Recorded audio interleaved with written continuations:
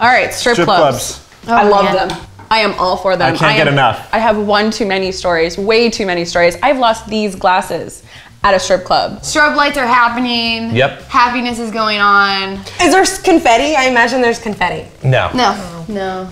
I love the fact that they have an announcer at strip clubs. Cinnamon to the main stage. A Dave story at a strip club that I have to tell. We're not doing that yet. yes, we are. yes, we are. We- Another girl is on his left, another one of my friends of mine, and she is getting a dance, all right? She has her dance paid for, and Dave goes, Tell her you're my girlfriend so we get a couple's dance for free. It wasn't that aggressive. yes, it was. It's not it like was I, that. phys- like I physically threatened her. Like, get over here. I need a dance. No, you pulled her over. You said, We're together. Oh no, that's aggressive. a girl got done with her dance and the best part of it she goes mom your turn next and she came on stage and it was a mother-daughter deal of course that was in wisconsin but Oh, Wisconsin. There was a girl, and her name was Snow. I'm sure that was her given name. And she had these hams that were like out of this world, like nothing I've ever seen. What does that seen. even mean? Like, Butt like cheeks. oh, oh Yeah. I thought you said hands. I thought you Yeah, said oh no, no, sorry, like, hams. like really soft. Or really large. They were they were they were shapely. I don't, they were just great. Wow. And she was able to take a 16 ounce pint glass and rest them between and and like take her hands away. How do you Myself and other individuals rolled up napkins and played basketball. No. What? So you're saying, Amber, you got kicked out of a strip club?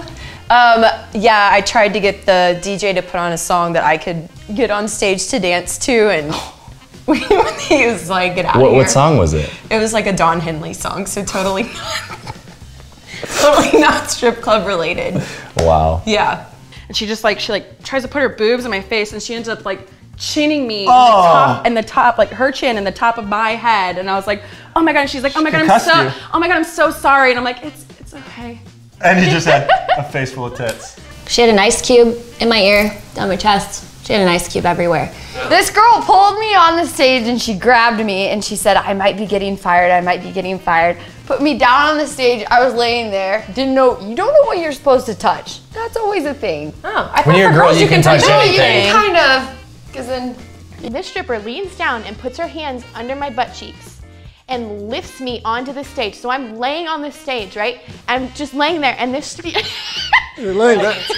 Okay, you're and this this stripper is crawling over me, and I just like I was paralyzed. Like I didn't I didn't even know what to do with myself. Yeah, I wouldn't know what to do either. So I, did what any good wannabe go-go dancer stripper would do, and I put my legs in the air.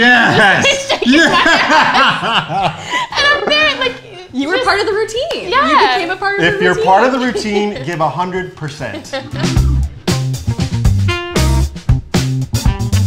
Listen, I might need to hit the strip club tonight. Yeah, look, this is too good. I'm just thinking about it. I just went to the strip club on Saturday too.